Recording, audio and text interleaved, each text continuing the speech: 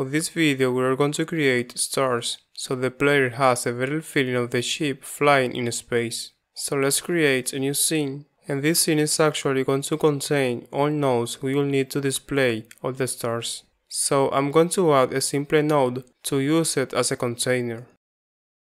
And you can see that this node is pretty basic. It can only hold a script, which makes it perfect for holding other nodes. I going to rename it stars and I'll save it in the scenes folder as stars.tscn. Now for the stars, I'm going to add a sprite node. And I'm going to name it starFar0.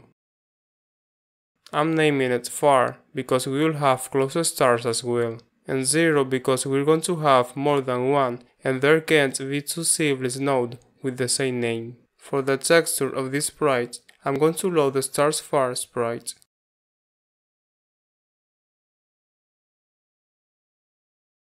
And I'm also going to disable centered, so its origin is at the top left corner. Now we want this sprite to start outside the view, and since its size is 180 by 180, which you can see by clicking on this arrow here, I'm going to set its Y position to minus 180. What we want this node to do is to go all the way down until it reaches this point, and then to get back to the top and do it again. And this is something we have to do from a script of course. So I'm going to add a script to this node. And let's save it in the scripts folder under the name star.gd. Hit create. I'll remove what we don't need and the first thing we will do is define a velocity. So I'll declare a variable named velocity equals to a vector2. I won't give it a value since I want to do it from this vector. And in order to do so, we just have to type the keyword export before declaring the variable. If we click on the node, we can see that now we have the velocity as a property. And this is pretty handy for when we want to reuse the same script but with different values, which we will do in a moment. Let's go back to the script, and having defined a velocity, we now need to apply it to this node's position. So I'm going to enable the process callback and create it down here. And in here, we're going to translate this node using as an offset velocity by delta which can also be seen as displacement equals to velocity by delta sign. And to get the sprite back to the top when it reaches the bottom, we will ask if the y position is bigger or equal to the view's height, which we can get by saying getViewPorRect.size.height. And if it's so, we'll set the position to 0 minus 180 by creating a new vector 2 with 0 as x and minus 180 as y. I will click on the star node and set its vertical velocity to 50. Let's give it a shot. We can see the stars moving down.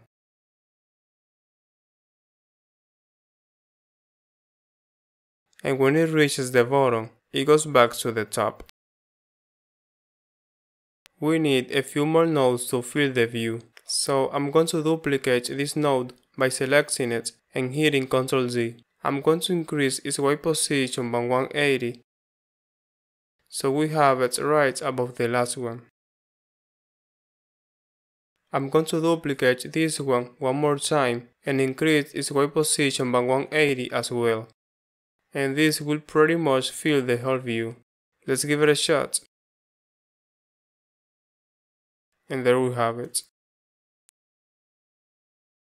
We are now going to create the close stars, but I don't want them to be siblings of the first stars. So I'm going to add a node 2D. I'll name it stars far. And I'm going to make all the stars we created a child of it. If we run the scene again, it still works.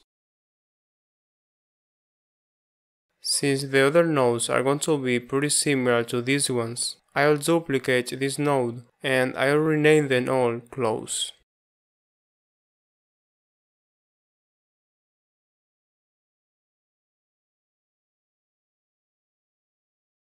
I'm going to select these three nodes. You can see that we can edit multiple nodes at once. And for the texture, I'm going to load the stars close sprite. And let's also set their vertical velocity to 100, so they go faster. Let's try it out. And there we have it. We just now need to instantiate this scene on the stage game scene. So let's go to the game stage and in the world node I'm going to instantiate the star scene. And you can see that the stars are above the ship, which shouldn't be the case. To fix it, we just have to move the stars node above the ship so it gets drawn first. Let's run the project to see how it looks and it looks pretty cool. But I actually want the closest stars to be above the ship while having the first stars below. So in the star scene, on the stars close node, I'm going to set the z, which represents the draw order in 2D, to 10. Now even though these nodes have z set to 0, they are all relatives to their parents. And since this node is a child of a node that doesn't have a z value, it doesn't matter if its z-value is set to relative or not. It will be absolute, and 10 is bigger than the chip's z-value, which is 0. Let's give it a shot. And there we have it. Well, that's gonna be it for this video. Thanks to all the patrons that have been supporting this tutorial, I really appreciate the support. Thanks for watching and I will see you on the next one.